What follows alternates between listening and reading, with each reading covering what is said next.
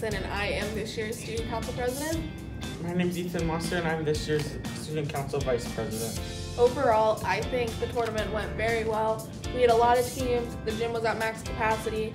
Um, we had a lot of donations. Everything sold out for our food, so I think it was a very, very successful day.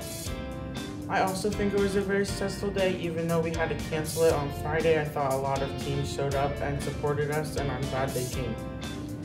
Overall, with the admissions, concessions, raffles, teams, and sponsorships, we raised about $5,000 for this year's dodgeball tournament.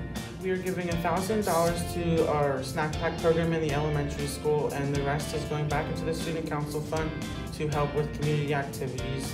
We had a lot of different committees going into this event, and all of them did a lot of work behind the scenes and in the background. And with the cancellation, we had a lot of phone calls and a lot of emails to try to answer people's questions or see if they're coming.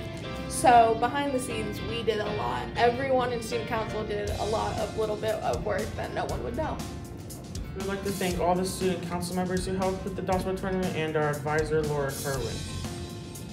We would also like to thank all of the businesses that sponsored us all the people that aren't student council that came out and helped. And we would like to thank everyone who came on Saturday to the event.